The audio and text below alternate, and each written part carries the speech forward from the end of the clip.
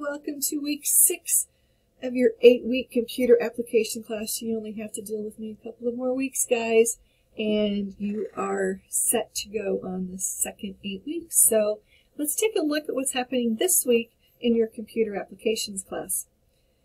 Last week we finished up in Excel with the Excel Chapter 3 and also the Excel Capstone. This week we start a whole new program, PowerPoint. PowerPoint is Microsoft Office's presentation program. And while you don't have to present anything in my class, you do have to create some presentations. And usually for the most of the assignments, I tell you exactly what to put in and where it all needs to go on your slides. So this week, Module 6 the first thing you want to do is make sure that you do your time typing, and that is 10 minutes of typing in between February 20th and February 26th. Remember, I look at the dates when I go into typing.com. You don't have to submit anything in Blackboard as long as you have it completed in typing.com in the class. You've got training for PowerPoint 1, then you have the Lakewood Community Pool assignment. You have training for PowerPoint 2 and then you have the Cashman Neighborhood Lenders. And you also have a critical thinking, what motivates us. So the Lakewood Community Pool assignment and the Cashman Neighborhood Lenders assignment will be automatically graded. Now, the automatic grading for PowerPoint can be a little sticky because it wants you to be absolutely specific with what you're doing with the assignments. I go in and manually regrade your PowerPoint assignments, even the ones through Cengage. That doesn't mean that you don't want to try to correct what it's telling you to correct and resubmit it for a higher grade. If you submit it in Cengage and you get a 60 out of 100, look at that report. Find out what did you do wrong. If you misspell a word, it's going to count you wrong. Where it usually counts off is where you place your pictures. It's very specific. Did it want you to use the guides? Did it want you to use an absolute position? Where did it want that picture to be or shape? Here in uh, PowerPoint, this is one I created on stress, and you can see up here on the View tab,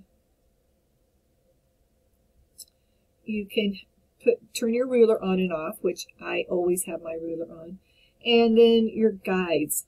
These are guides that help you show where your stuff is. You can see I now have one in the center, up and down, and one across, so I can see my guides. Uh, you can turn those on to help you. But when you select your picture, when I move it, do you see that red line that's showing up there on my screen? Those are the guidelines. And that is what a lot, what, yeah, what a lot of the assignments are going to have you do is to use the guidelines.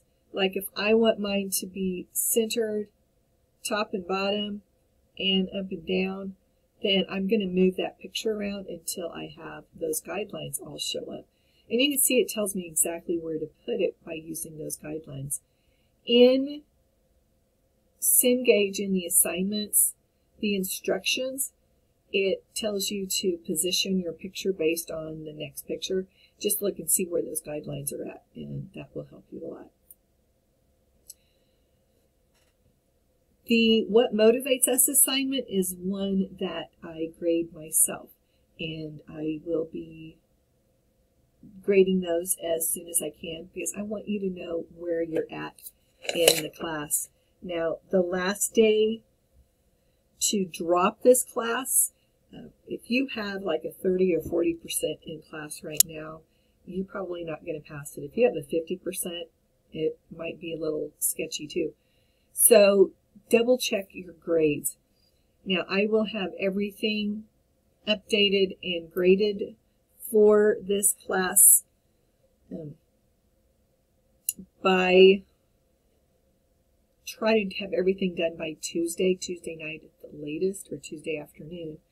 So what you can go in on Tuesday is you can come in here and go to my grades and you can see what your overall grade is.